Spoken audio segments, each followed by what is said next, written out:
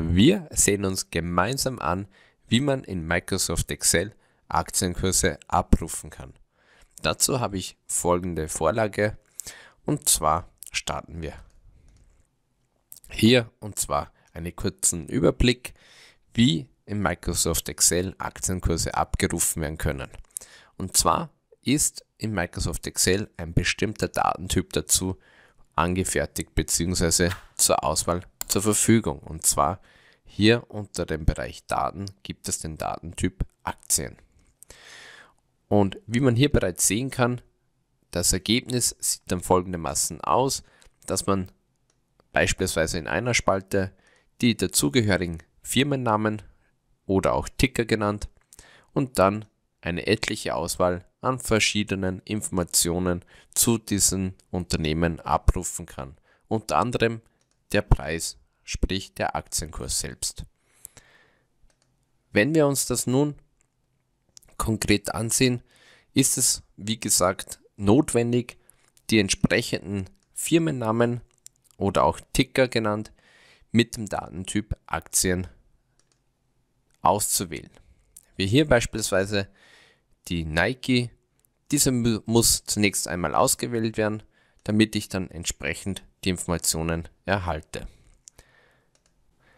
Es bedeutet auch, dass die Daten sehr ähm, regelmäßig zur Verfügung stehen und um diese regelmäßig zu aktualisieren, kann man ganz einfach hier im Bereich Daten auf den Menüpunkt Alles aktualisieren neu importieren.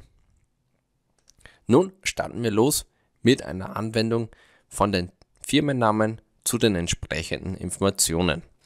Hier kann man bereits sehen, dass die Tickernamen vorgegeben sind und ich möchte nun entsprechend äh, zu diesen Firmennamen ähm, die Aktienkurse erhalten. Voraussetzung ist, dass wir diese Firmennamen zunächst selektieren und auf diesen Datentyp Aktien umstellen. Wie man sehen kann, wird das von Microsoft Excel unmittelbar ähm, richtig interpretiert. Es kann beispielsweise vorkommen, dass ein Firmenname auch auf mehreren Börsen gelistet ist.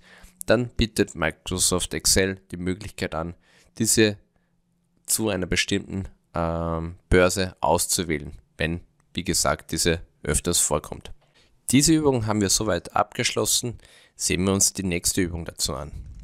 Und zwar kann man nun, hier ist es bereits äh, vorbereitet, nun, nachdem dieser Datentyp aktiviert wurde, hier gibt es ein extra Symbol, mit dem ich dann entsprechend die Informationen zu diesem äh, Unternehmen auswählen kann. Beispielsweise beginnen wir mit dem Preis und ich kann aber auch zum Beispiel auch das KGV bereits äh, mir anzeigen lassen. Es kann natürlich vorkommen, dass nicht alle Informationen zu den Firmen vorhanden sind, wie zum Beispiel hier bei der Boeing Company. Wir können uns auch äh, die letzte Handelszeit als Informationen äh, ausgeben lassen. Dazu wechsle ich hier im Menüpunkt auf den letzten Handelstag bzw. Handelszeit hier und habe diese nun entsprechend auch zur Verfügung. Eine weitere Übung ist zum Beispiel auch ist die Auswahl der einzelnen Informationen nicht nur über, den, äh, über das Icon, sondern man kann auch ganz einfach mit einem ist gleich und dann entsprechend die Selektion auf den Firmennamen, welcher dieser Datentyp Aktien ausgewählt wurde, mit einem Punkt ebenfalls auswählen. Ich bestätige mit Enter und erhalte nun entsprechend äh, nicht das 52 Wochen hoch, sondern den Börsenwert. Nun können wir auch noch, wie gesagt, äh, das vervollständigen, indem wir hier nochmals das Auswählen. Hier zum Beispiel wurde der Name verwendet, welches hier dann nicht als Aktie oder als Unternehmen erkannt wurde. Ähm, deshalb ist auch folgende Vorgehensweise möglich. Ich gehe einen Schritt zurück. Und zwar kann ich diese, diese ähm, Tickerbeschreibungen und die Überschrift zunächst als Tabelle markieren. Wichtiger Zusatz, Haken bei Tabelle hat Überschrift.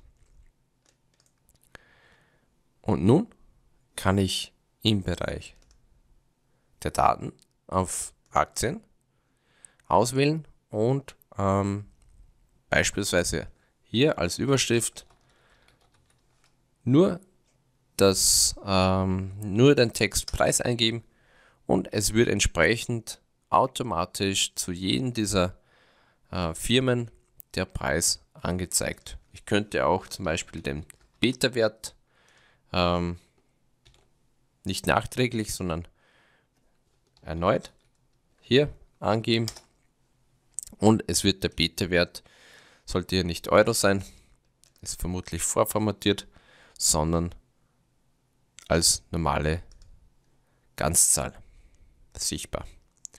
Wie du siehst, kannst du mit dieser Vorgehensweise relativ einfach eine guten ähm, Aktienanalyse bzw. auch Tracker bauen, um am aktuellsten Stand zu sein oder um sein Portfolio im Überblick zu behalten. Ich hoffe, ich konnte dir damit das Thema Aktienkurse in Microsoft Excel näher vorstellen. Falls du Fragen dazu hast, hinterlass mir einfach einen Kommentar. Ich werde darauf antworten und versuchen, dir eine Lösung äh, vorzubereiten und würde mich sehr freuen, wenn du auch im nächsten Video mit dabei bist. Bis dahin alles Gute und viel Erfolg.